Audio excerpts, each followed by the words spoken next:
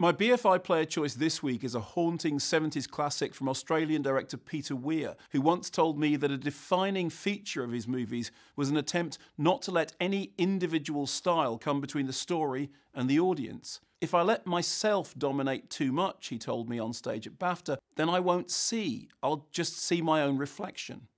Well, ironic then that this eerie masterpiece should have become a stylistic textbook for so many filmmakers whose work has been influenced by the endless enigma of Picnic at Hanging Rock. When are we going home? When are we going home?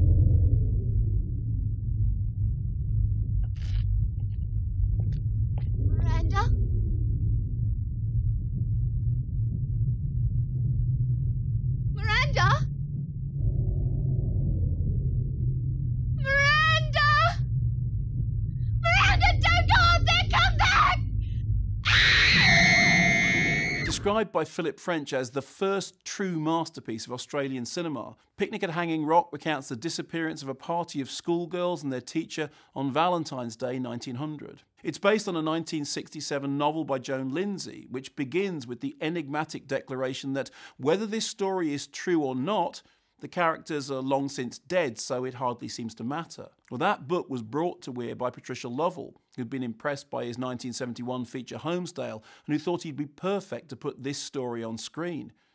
Weir was captivated by the novel and anxious to turn it into a movie. But first, he had to effectively audition for Lindsay, whom he asked, against the advice of everyone, whether the story was indeed true.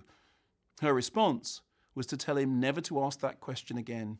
Superbly lensed by Russell Boyd, who won a BAFTA for Best Cinematography, Picnic at Hanging Rock became a touchstone text not only of the Australian New Wave, but of international independent and art house cinema. You can see its influences in everything from Sofia Coppola's The Virgin Suicides to Carol Morley's The Falling, both of which owe a weighty debt to its air of studied ambiguity, heightened in the 1998 director's cut, which deleted several scenes present in the original release. Weir would go on to direct such diverse fare as Gallipoli, The Year of Living Dangerously, Dead Poets Society, and perhaps most famously The Truman Show. But this remains his most extraordinary work.